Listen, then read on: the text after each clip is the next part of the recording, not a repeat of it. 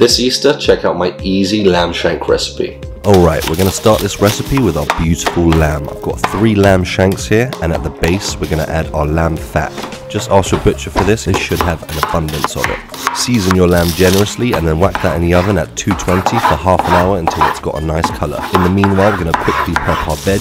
One onion, one garlic bulb, a couple tomatoes, one lemon, and a bit of fresh rosemary go in with our beautiful lamb. Season generously with oregano, thyme, and black pepper. Then cover with foil, whack into the oven at 100 degrees Celsius for 4 hours. 4 hours later, this is what you're left with. The most delicious, the most succulent, fall off the bone, melt in your mouth lamb. Give it a go this Easter. Let me know what you think. Thanks for watching.